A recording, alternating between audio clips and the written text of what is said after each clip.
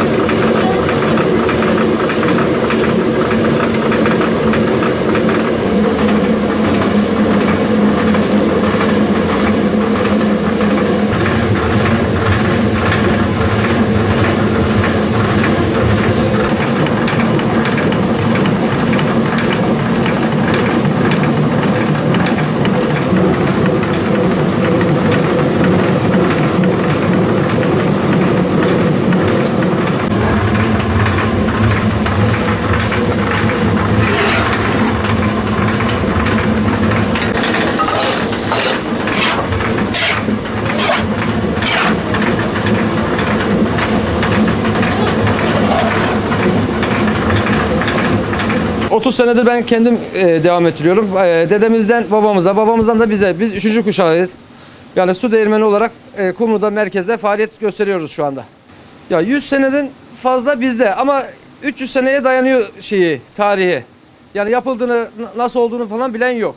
E, Kumru'da yani e, e, Kumru değil sadece. Fatsa'dan, köylerinden her tarafa e, hizmet vermeye çalışıyoruz burada. Evet evet aynen farklı ilçelerden Korgan'dan olsun Fatsa'dan olsun işte nasıl diyeyim Akkuş Akkuş'tan olsun yani buraya su değirmeni diye şey yapıyorlar geliyorlar yani. Ya su değirmeninin özelliği su değirmeni onu yavaş yapar.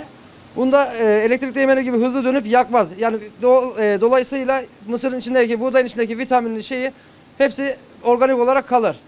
Kokusu olsun, şey lezzeti olsun hepsi farklıdır yavaş yaptığı için. Daha lezzetli oluyor. Evet daha lezzetli oluyor. Ya Kumru'da şu anda bir tane kaldı. Ee, merkezde yani biz biz varız. Önceden daha çoktu tabii ki. Tabii bir de şunun da şeyi var. Mısır üretimi bayağı düştü. Fındık fındığa döndü millet. Bayağı düştü ama biz yine de bunu yaşatmaya çalışıyoruz. Burada bir tarihi kültür olarak yaşatmaya çalışıyoruz bunu. Ee, ücret vermek isteyen ücret veriyor. İçinden hak diyoruz biz. Eskiden beri eh, gelen bir şeydir. Haklık. Mesela 10 kiloda 1 kilo haklığı vardır. Onu alıyoruz, o payımızı alıyoruz. Onu ondan sonra ödüyoruz, müşteriye tekrar un olarak geri satıyoruz yani. Ya bizden önce e, bir arkadaş şey yaptı. Bizdeydi bu dedi. Ondan daha yani öncesi yok yani. Onlar da kimden aldığını, ne yaptığını bilmiyor. Yani daha önce tarihi yok.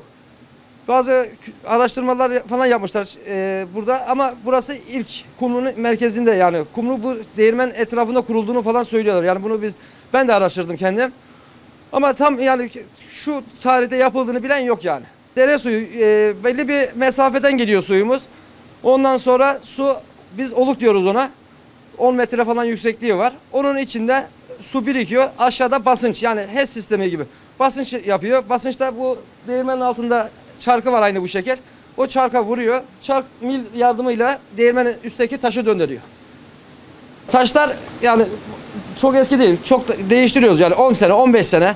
Bilemedin 20 sene falan bir gidiyor yani taş. Taşı değiştirdik yani. Taş o kadar bir eski şeyi yok. Ama değirmen. Değirmen eski. Üzeri de vardır ama biz 3 asır olduğunu yani araştırmalarda öyle şey yaptık. Belli ettik. 3 asırdır devam ediyor yani.